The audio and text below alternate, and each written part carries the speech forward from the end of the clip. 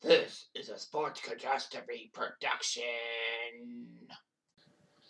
Hey there, Heather Ho, there's Jeff and welcome you to another sports Cutastrophe on this day. And on this day, February the 20th, in the year 2014, Canada won the women's hockey gold medal.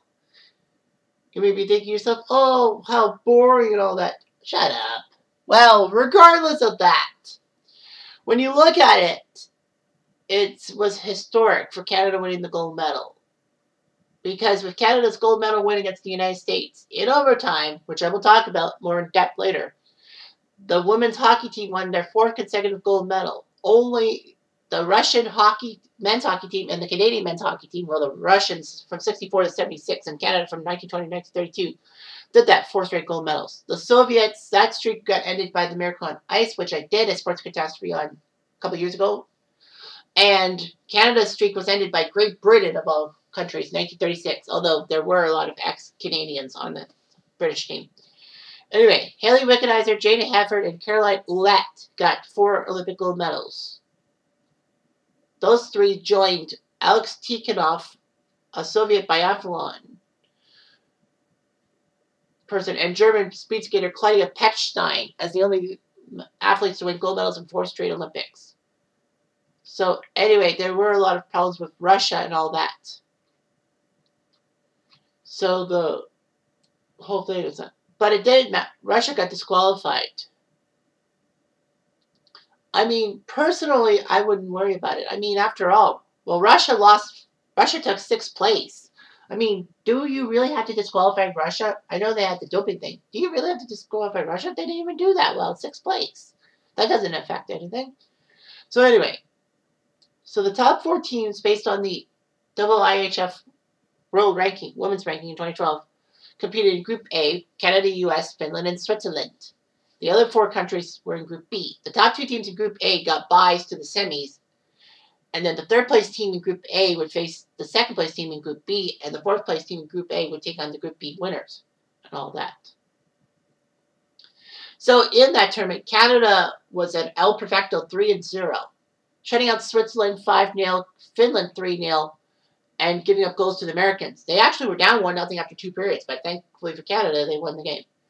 So they did all that. Americans finished 2 and 1, while Finland beat Switzerland, but that was in overtime, so they only got two points. Anyway, Group B saw Russia, Sweden, Germany, and Japan play. Russia cruised through, crushing Germany 4-1, Japan 2-1, and shocking Sweden 3-1 because Sweden usually is uh, a hard-pressed team to beat. So Russia and Sweden did it. Germany and Japan would have to play for seventh place, like that matters. In the fifth to eighth place bracket, well, the quarterfinals happened. Sweden beat Finland 4-2, the, battle, the Nordic battle, and Switzerland took care of Russia 2-0. So that meant Sweden and Switzerland would go to the semifinals. Finland and Russia would have to go to, to classification. Finland did beat Germany 2-1, and Russia crushed Japan 6-3. Finland and Russia played for fifth, which Finland won 4-0, and Russia still had to be disqualified because of the doping thing. Germany beat Japan again 3-2. Poor Japan, I feel so bad for them. In the semifinals, the Americans crushed Sweden 6-1, and Canada cruised to a 3-0 lead after one period against Switzerland. Fortunately, though, that was enough to win 3-1. The bronze medal game on February 20th saw Switzerland down 2-0 after two periods, and it looked like Sweden was going to win the bronze. But somehow, in some way, Switzerland scored four goals in the third period to win the game 4-3. So Switzerland got a bronze in women's hockey. Bravo. And now it is time for the main event. It was time for Canada versus the United States, February 20th, 2014. I was nervous about that game because, you know, Canada, the Americans always give Canada a hard time. It was Shannon Szabados versus Jessie Vetter in the nets. The referee was from England, the lineswoman from the Czech Republic. So, anyway, the Americans scored first in the second period when Megan Duggan, ho, no, not in that way. Ho, because, you know, Duggan Hacksaw Jim Duggan. I don't think she's related to Jim Duggan. Anyway, Megan Duggan scored from Jocelyne Lamoureux to make it 1-0. And then in the and then early in the third period, in the first few minutes, a goal by Alex Carpenter made it 2 0, assisted by Hilary Knight and Katie Stack. Canada was in trouble. Canada was really in trouble. They were down 2 nothing, and it looked bad. But for some reason, Canada came crawling back. With less than four minutes left, Brianne Jenna, Jenner scored a huge goal from Meghan Mikkelson and Jocelyne Larocque to make it 2 to 1. So Canada was in the driver's seat. So Canada was down 2 1. They needed to do the extra attacker, so they pulled Savabills, and then the puck went to Mary Marie Poulin, who did a birthday girl on a while ago. Scored from from Rebecca Johnston and Haley Irwin.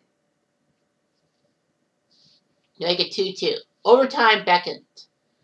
And the Americans got themselves in trouble by losing two people in the box.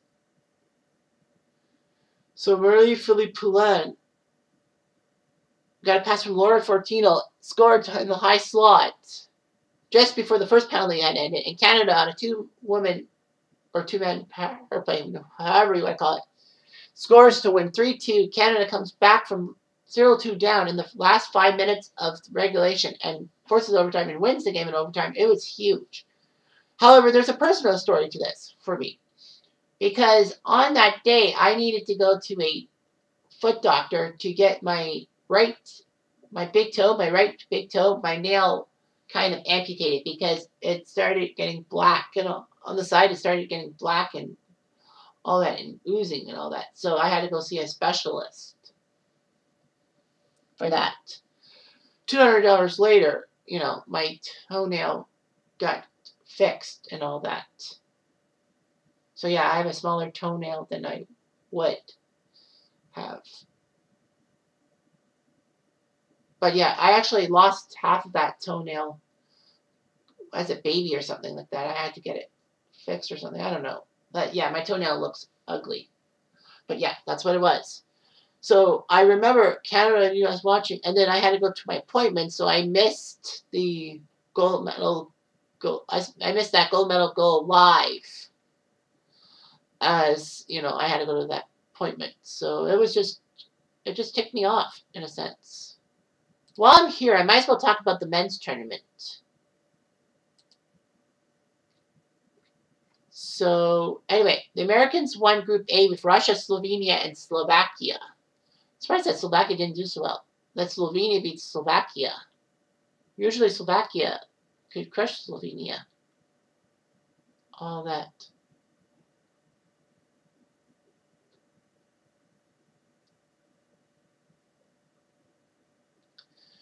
Yeah, the Americans won a shootout against the Russians to win the group.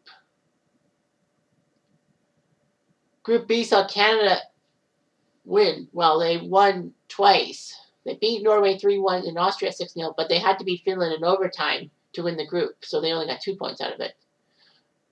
So yeah, that was for first place, Canada Finland, the final game. Austria only got Austria beat Norway, but that was it. Group C saw Sweden get through with a 3-0 mark. Switzerland drops to 2 and 1. The Czechs beat Latvia, but the Czechs couldn't do anything else. So so anyway, there was a playoff round and all that. So the top four teams, that being Sweden, Finland, Canada, and the Americans, would all make the quarterfinals. And then based on points, they had to, based on points, they had to decide things in the qualification playoffs. Qualification playoffs, Slovenia beat Austria 4-0. Russia beat Norway 4-0. Latvia beat Switzerland 3-1, and the Czechs beat their neighbor Slovakia 5-3. So it made it into quarterfinals. Everything was re-ranked. Sweden crushed Slovenia in five power 5-0. Russia got pissed off with losing to Finland 3-1 in front of their home fans. Canada beat Latvia 2-1. It was close. Uh, who was the goalie for? Kristers Gudjevets. G-U-D-J-E-V-S-K-I-S was just dominant. Canada outshot Latvia 57 16, and they almost blew it. But thankfully, Patrick Sharp and Shea Weber scored in the quarterfinals. Americans crushed the Czechs 5 2. So the semis saw the battle, the North American battle, two battles. The North American battle between Canada and the US, and the Nordic battle between Sweden and Finland. In the semifinals, Sweden won 2 1. Finland scored first on a goal by Olli Jokinen over Henrik Lundqvist. However, Loui Eriksson and Erik Karlsson put in goals in the second period off of Kari Lehtonen, and Sweden won the game 2 1. Canada beat the Americans 1 0. Carey Price outdid Jonathan Quick. It was a good battle. Jamie Jamie Benn was the only guy to score a goal. It was just amazing to see those guys battle each other. Now, there's another story with that. Because of me being Blue Shirt Underground and me with Jim Schmiedenberg, me and Jim made a bet that whoever won the game, whoever the winning goal scorer was, they would have to put that person as their profile pic for I get I think I said 48 hours or something like that. Yeah, 48 hours. And Jim had to put a picture of Jamie Benn on it. The bronze medal game saw Finland crush the Americans 5 to 0. So the Americans had no chance. It didn't help that Teemu Selanne scored twice. Jussi Jokinen Juri Hietanen and Olli Määttä scored, so the Americans got their butt handed to them. Tuukka Rask beat Jonathan Quick. Why the hell didn't they put Tuukka in that for the semifinal for Sweden? But anyway, the gold medal game happened, and Canada took on Sweden on February 23rd. Carey Price against Henrik Lundqvist. Sweden got their butts handed to them as Carey Price put up another shutout. Jonathan Toews, Sidney Crosby, and Chris Kunitz scored for Canada, and they won the gold medal. So, yeah, Carey Price was just amazing in that Olympics. Unfortunately, he's injury prone now, and he's probably retiring soon. He better retire soon. Because he hasn't played in years, a couple years. So, yeah, so that was the story of the ice hockey at the Winter Olympics. Dig it. Anyway, I'm Jeff Diamond. I do.